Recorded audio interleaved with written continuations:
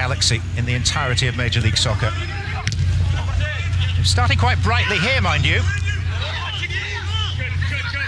And they could be in here. And they have taken the lead with an own goal. Absolutely against the script. With the run of play, mind you, because LAFC have stuttered out of the starting blocks. And LA Galaxy have set about them and maybe have sown a seed of doubt. But on the LAFC front foot, minds. from the opening whistle, John, on the front foot, and a lot of it is just the freedom of Sebastian Lletget and Cristian Pavon. Neither of them playing central, so the two center backs are LAFC are struggling to pinpoint who do they pick up. Now you've got interchanging runs. Lletget tries to play a ball across, ends up back of the net off of Latif Blessing, but it's been all LA Galaxy in the opening five minutes here as the target goalpost cam doesn't lie. Check from VAR, Dave Gantar, is complete. The penalty award stands.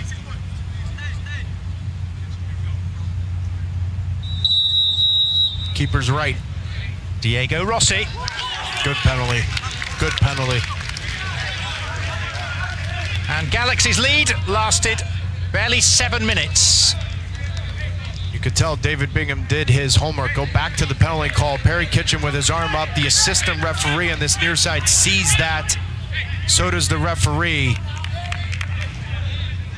But the one penalty Diego Rossi took against the Houston Dynamo in 2018 went to the keeper's right. You can tell David Bingham and the LA Galaxy did their homework. Good penalty from Rossi.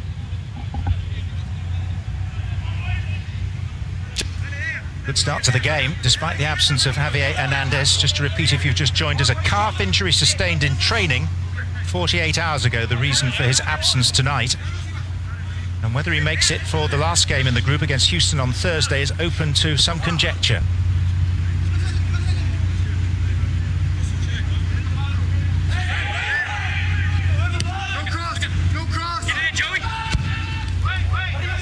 Depth on the cross. Oh, and a good header in the end as well. That's the second. Keeper elevated tonight, and now Pavone has to go through the mental preparation all over again. Sisniega saved a Daniel Salloi penalty at Sporting Kansas City on a rare appearance last season. So who has the steelier nerve? Pavone at the second attempt.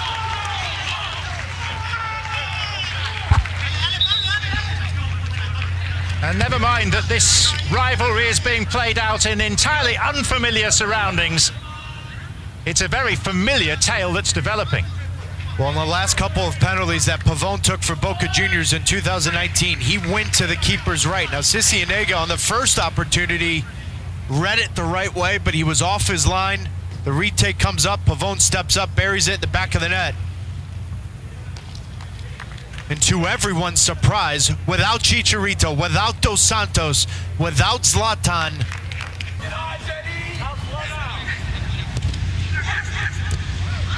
Wright, Phillips.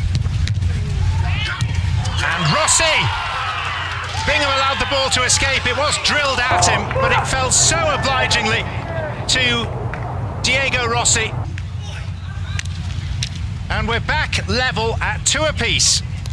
The Continental Tire Analyst Corner was the last thing the Galaxy want is the ability for LAFC to play through the middle because then it opens up your center backs. Great first time touch from Mark Anthony Kaye to lay it into Bradley Wright Phillips. Now Bingham does anything he can to make this save. Now it's the rebound that plays in a factor, but that layoff from Mark Anthony Kaye playing between the lines, laying it off. Diego Rossi gets his second of the game. But that was great interchanging runs from Mark Anthony Kaye and Bradley Wright Phillips. That was more like it from LAFC. Absolutely. Tactics and ability to make LAFC uncomfortable. It just goes to show you how talented LAFC is. They haven't been great, and here we are 2 2. And that's the halftime score. No, Javier Hernandez. The news broke just an hour or so before kickoff. A calf injury sustained in training on Thursday, keeping the Mexican out. Significant fees allows them to regenerate the team to buy in new talent. But with the world situation, is that likely to happen? I'm not Taylor? sure it is, John. I'm not. Lletget. And Pavone and Cristian Pavone's in here for the Galaxy, and remarkably, they lead yet again. Now, the flag is up, and his celebration has been cut short. He wheeled away towards the corner flag and this record.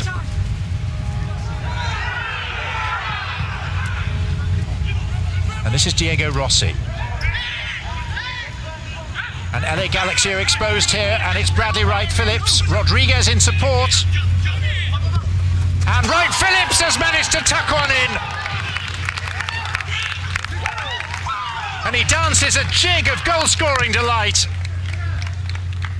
At this stage of his career, it's to be viewed as a bonus. A second chance after his prolific time at the Red Bulls, and he's making a mark. And an acquisition that just leaves you shaking your head. How can LAFC get a guy that scored over 108 goals in seven years with one team? Bradley Wright Phillips has made a name for himself in these moments. Gonzalez thinks he has him set up, but just a half a yard, a little window to bend this around Gonzalez and around David Bingham. Just a fantastic finish from Bradley Wright Phillips for his 110th career MLS regular season goal. But his first against the LA Galaxy at the sixth time of asking. He's had his injury problems. He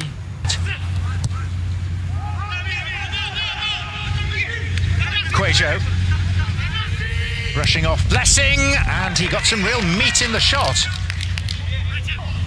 And Kaye splitting the defence and here comes Rossi for a hat-trick.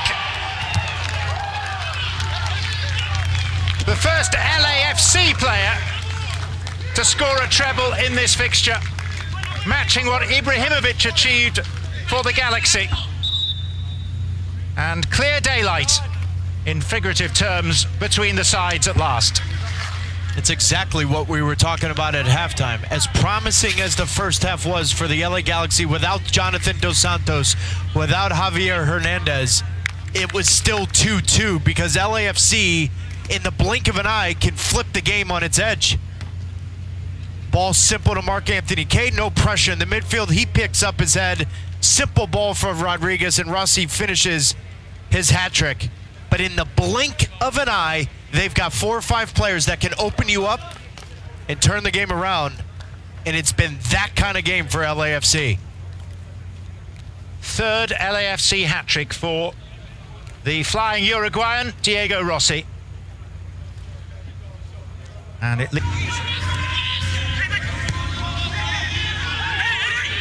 Tournament that has gained momentum, and that's El Munir! And that's a brilliant fifth. Struck with clarity, power, and perfection.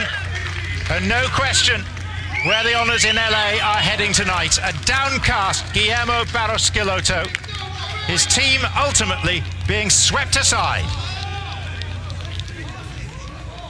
And this is just the quality that LAFC bring in multiple positions. El Munir coming off the bench.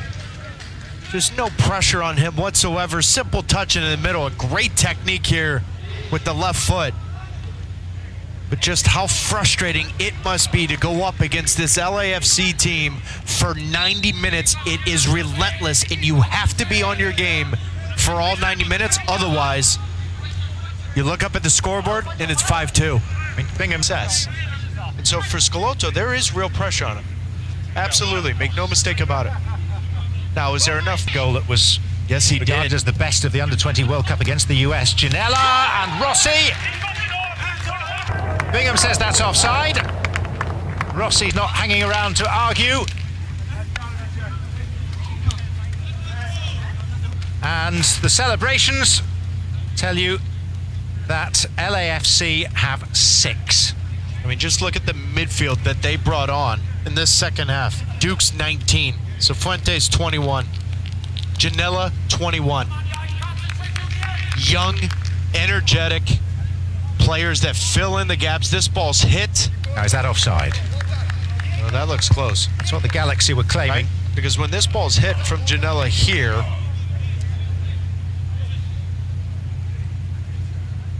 Well, if this stands and then LAFC do have six against their neighbours and rivals for the first time. And this is now the joint highest scoring El Trafico so far. Wow. Exactly.